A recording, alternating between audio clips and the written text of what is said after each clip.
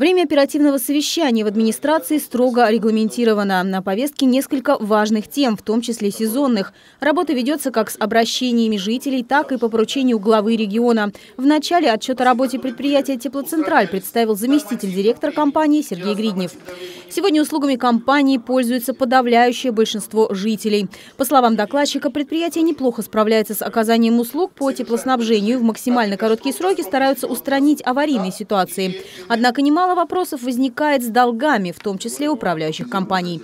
Надо сказать, проблемы в сфере ЖКХ являются, пожалуй, самыми актуальными. И это требует обсуждения и решения. Именно поэтому на оперативное совещание пригласили не только докладчиков, но и представителей общественности. О транспортном обслуживании населения также шла речь на совещании. Вопросы наличия остановочных пунктов, удобства их расположения, а также льготы для групп населения и современные способы оплаты проезда наиболее всего волнуют жителей. Эти проблемы сегодня требуют согласованного решения. Озвучить их также немаловажно.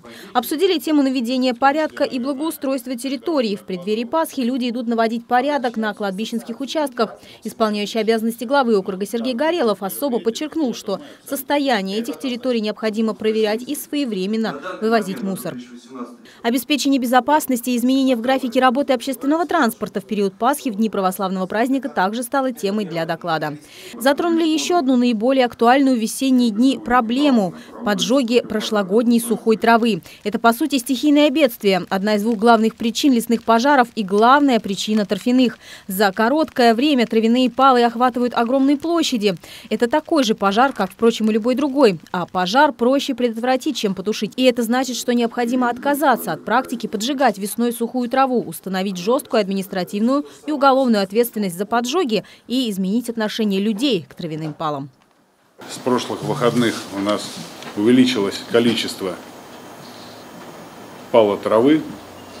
В субботу очень много было выездов по тушению пожаров. В результате пожара один из граждан лишился строения. Вы знаете, что мы помогали и Балашихе, и работали наши расчеты на территории Лосиного острова. Поэтому сегодня я дал поручение осветить вопрос о ходе реализации мероприятий по подготовке к пожароопасному сезону.